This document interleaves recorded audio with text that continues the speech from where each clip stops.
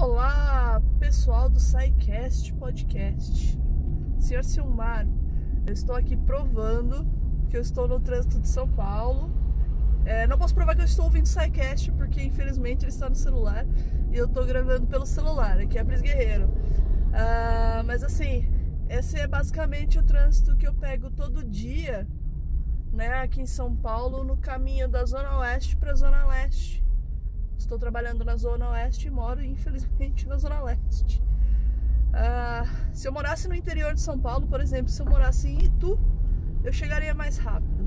Mas, infelizmente, não é a realidade.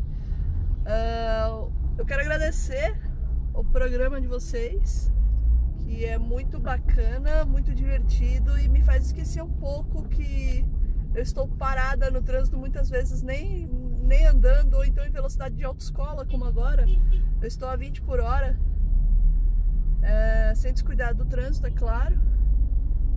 Mas eu quero realmente agradecer. Obrigada a todos vocês aí, não só você, né, mas a, a todos vocês do SciCast, a Bel, ao Jorge, a Estrela de Curitiba, é, a, aos professores que vão aí. Eu quero realmente agradecer pela companhia diária aí que vocês, vocês me fornecem todas as tardes aqui em São Paulo. Realmente vocês são necessários. Obrigada. Não parem, por favor, não parem.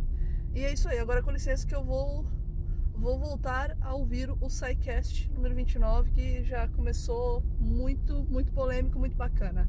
Obrigadão, hein, pessoal do SciCast. Tchau, tchau.